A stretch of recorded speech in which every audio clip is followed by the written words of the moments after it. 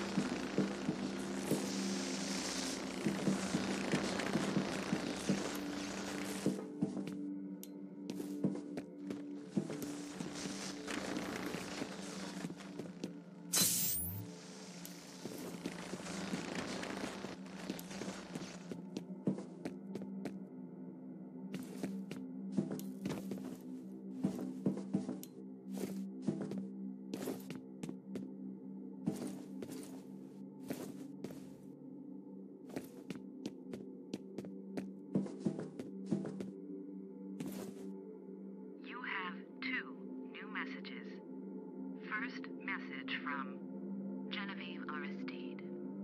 Harlan, it's Genevieve. Listen, I understand your feelings, I really do.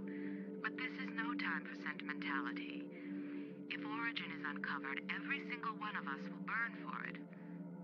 It's time we buried the dead, don't you think? Next message from Genevieve Aristide. Harlan, it's me again. Want an apology, then I apologize. I was wrong. You were right. In any case, I want to be sympathetic, but the situation is urgent. I'm sending Mapes to take care of things since you seem reluctant to do what needs to be done. I hope you can find it in yourself to assist him.